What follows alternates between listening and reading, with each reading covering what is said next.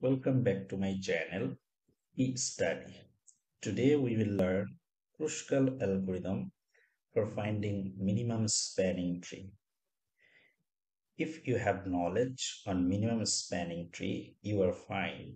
However, if you don't know the minimum spanning tree, you should watch my video that is made on minimum spanning tree. So let's move on in this example. Here, a telephone company wants to connect several houses from its central office. So the naive approach or the primary approach is to connect these houses through an individual line. So this approach is expensive because it needs more wires. Thus, it increases the total cost. However, if we can connect the houses like in this pattern here, so we can minimize the length of wire and also minimizes the total cost. And this approach is similar to the minimum spanning tree approach. So the question is how we can calculate or find the minimum spanning tree? There are basically two algorithms for finding the minimum spanning tree. One is Prim's and another one is Kruskal. I made a video on Prim's algorithm before, so you can watch it from my channel. And today we are discussing on Kruskal algorithm. Here is an example. Calculate the minimum spanning tree of the following graphs. So we need to find the minimum spanning tree of this graph using the Kruskal algorithm. That's why we need to understand the Kruskal algorithm first. In the first step, find the smallest edge in the graph network and select it if it does not form any cycle. And continue this fashion until all the vertices are covered. So in a simple sentence, we need to find the smallest edge in this graph and select it if it does not make any cycle. So the smallest edge in this graph, this one and this one. We are fine because both the edges do not make any cycle. The next smallest edges are this, this one and this one. And we are fine because it does not make any cycle. The next smallest one is 3. However, we cannot take it because it make a cycle here. The next smallest edge is 4. We cannot take it because it makes a cycle here.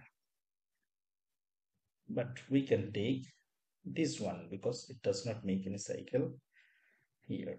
The next smallest edge is 5 but we cannot take this edge because it creates a cycle here. The next smallest edge is this one. We can take this one as it does not make any cycle. So we have done it because we covered all the vertices.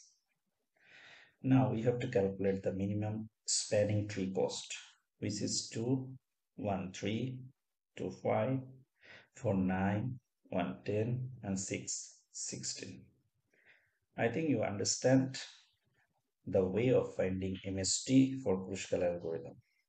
Let's move on another real-time example. A local state government wants to build the new road networks among different cities. Here are different cities and the local governments want to connect with new road system. The distance in miles between the cities are given in the following graph. Here are the distance between the cities. For example, the distance between city C and city B is 80 miles. Now, calculate the minimum spanning tree or the minimum lengths of road to connect all the cities using Kruskal algorithm. So the task is to find the minimum spanning tree cost or the minimum lengths of road required to connect, connect all the cities. And we have to use the Kruskal algorithm. So in Kruskal algorithm, first step, we have to select the smallest edge that does not make any cycle. So the smallest edge in this graph is this one, which is 60. The next smallest edge, this one, this one, and this one. We are fine because the edges do not create any cycle. The next smallest edge in this graphs this 80 and it does not create any cycle this 80 and it does not create any cycle.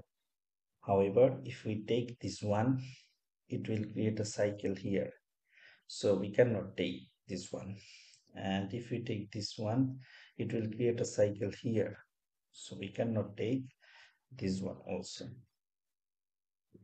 And if you look at the graph we can see that we have covered all the vertices. So we have done it hence the minimum length of roads required to connect all these cities is 80 plus 70 plus 70 plus 70 plus 60 plus 80 total 430 miles.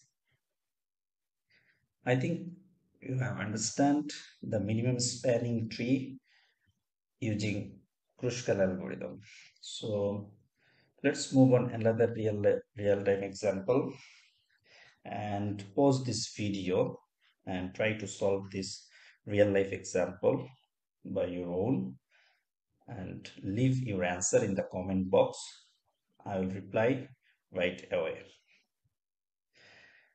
Still, if you have any question, please leave your question in the comment box. I will try my best to answer all of your queries.